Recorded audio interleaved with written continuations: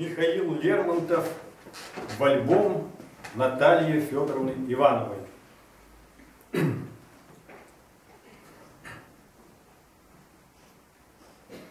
Что может краткое свидание мне в утешенье принести? Час неизбежный расставания настал, И я сказал прости. И стих безумный, стих прощальный В альбом твой бросил для тебя, Как след единственный печальный, Который здесь оставлю я. Я не унижусь пред тобою, Ни твой привет, ни твой укор Не властны над моей душою. Знай, мы чужие с этих пор. Ты позабыла, я свободы Для заблуждения не отдам, И так пожертвовал я годы Твоей улыбке и глазам, и так я слишком долго видел В тебе надежду юных дней, И целый мир возненавидел, Чтобы тебя любить сильней. Как знать, быть может, те мгновения, Что протекли у ног твоих, Я отнимал вдохновенье, А чем ты заменила их?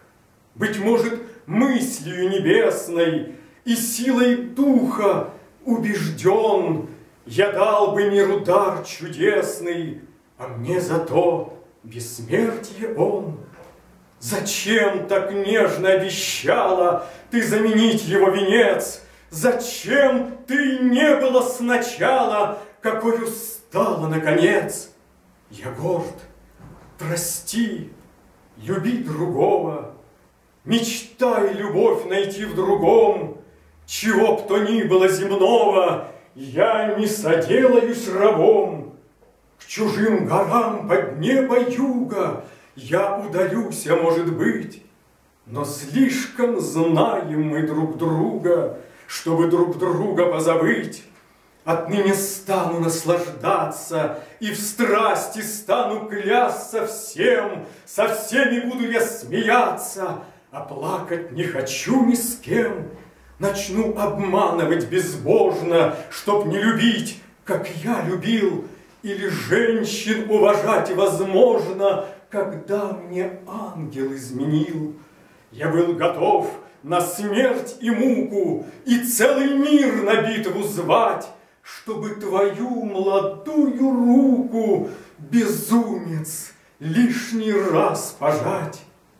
Не знав коварную измену, Тебе я душу отдавал, такой души ты знала ли цену? Ты знала, я тебя не знал.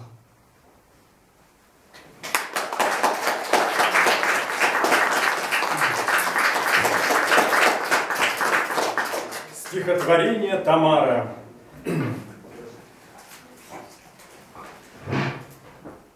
В глубокой теснине Дарьяла, Где роется терек во мгле, Старинная башня стояла чернее на черной скале.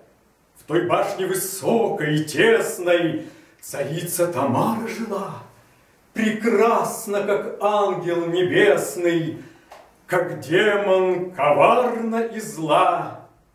И там сквозь туман полуночи Блистал огонек золотой, Кидался он путнику в очи, Манил он на отдых ночной. И слышался голос Тамары, Он весь был желанье и страсть, В нем были всесильные чары, Была непонятная власть.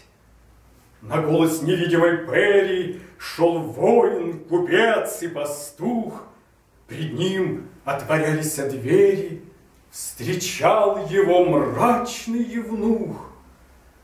На мягкой пуховой постели В парчу и жемчуг убрана Ждала она гостя, Шипели пред нею два кубка вина.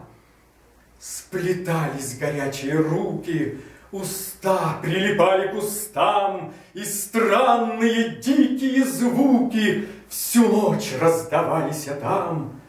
Как будто в ту башню пустую Сто юношей пылких и жен Сошлись на свадьбу ночную, На тризну больших похорон.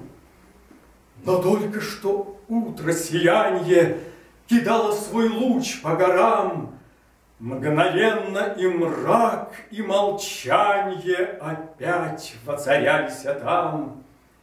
Лишь терек в теснине Дарьяла, Гремя нарушал тишину, Волна на волну набегала, Волна погоняла волну, И с плачем безгласное тело Спешили они унести.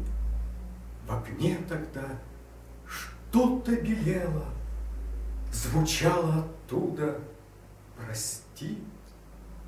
И было так нежно прощанье, Так сладко тот голос звучал, Как будто восторги свидания И ласки любви обещал.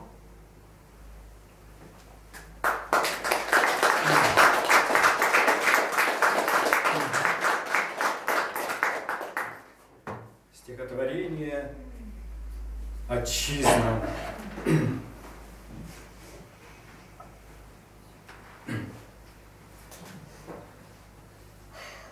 Люблю отчизну я, но странною любовью Не победит ее рассудок мой, Ни слава, купленная кровью, Ни полный гордого доверия покой, Ни темной старины заветные предания Не шевелят во мне отрадного мечтания — но я люблю, за что не знаю сам, Ее степей холодное молчанье, Ее лесов безбрежных колыханье, Разливы рек ее подобное морям.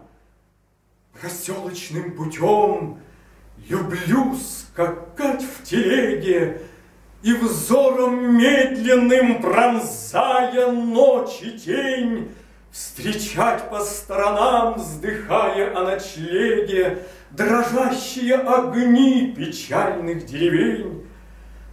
Люблю дымок спаленной жнивы, В степи ночующий обоз, И на холме средь желтой нивы Читу белеющих берез. С отрадой многим незнакомой Я вижу полное гумно, избу, покрытую соломой, с резными ставнями окно. И в праздник вечером расистым Смотреть до полночи готов на пляску С топаньем и свистом Под говор пьяных мужичков. Люблю отчизну я, но странною любовью